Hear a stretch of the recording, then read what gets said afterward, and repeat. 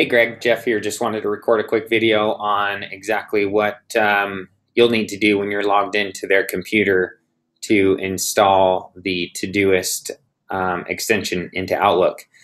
So you'll go to Todoist.com. You'll have them log in if they're not already logged in, and this is the screen that you'll see. In the top right hand settings, you'll click under Apps. You'll click More.